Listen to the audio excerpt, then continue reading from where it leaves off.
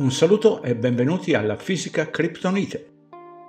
L'argomento di oggi è la somma vettoriale. Per tutti coloro che non l'hanno mai vista prima può sembrare scoraggiante, ma vi prometto che non lo è.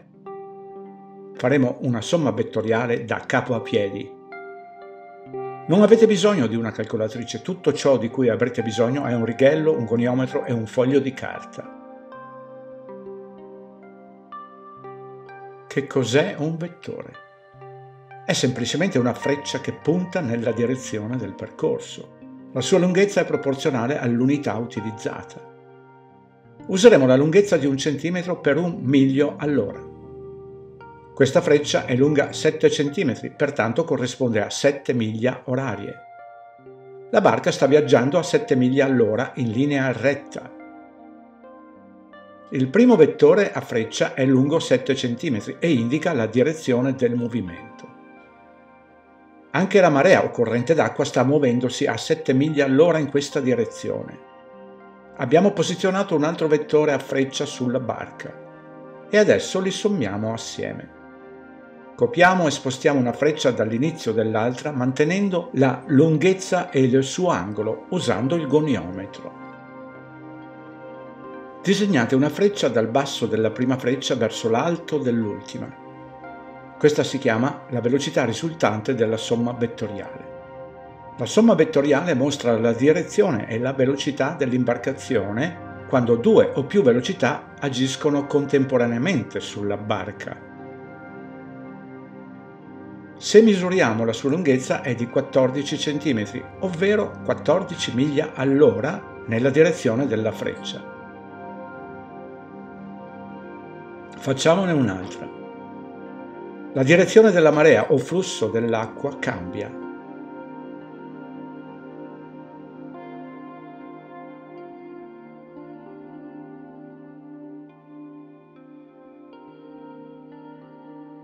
Si ottiene 0 come misura. La barca non si muove perché il movimento in avanti della stessa viene annullato dalla marea o movimento dell'acqua.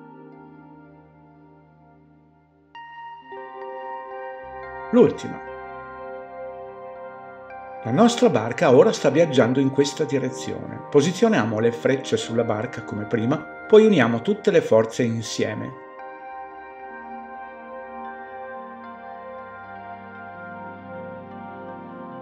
Disegniamo la freccia risultante. Misuriamola. Dovrebbe essere lunga 9,9 cm. L'imbarcazione sta viaggiando a 9,9 miglia all'ora in questa direzione.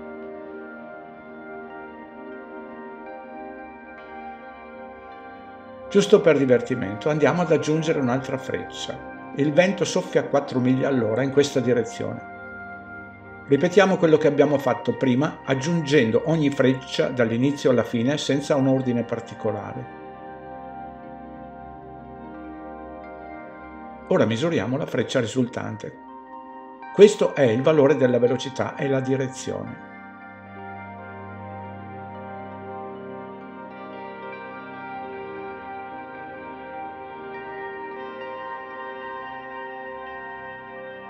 La velocità risultante è una combinazione di tutte le velocità che si verificano in un punto.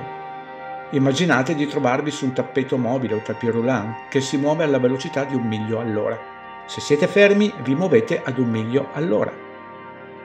Se camminate in avanti ad un miglio all'ora, vi muoverete di due miglia all'ora. Camminando al contrario del tappeto mobile starete percorrendo 0 miglia all'ora.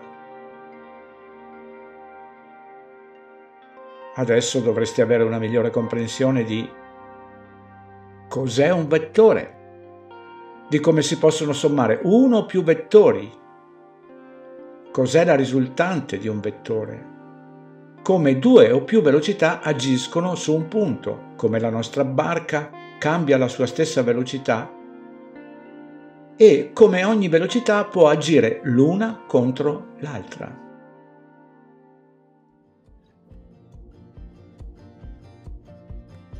In lingua inglese, kryptonite o kryptonite significa l'unica debolezza di qualcosa o qualcuno altrimenti invulnerabile.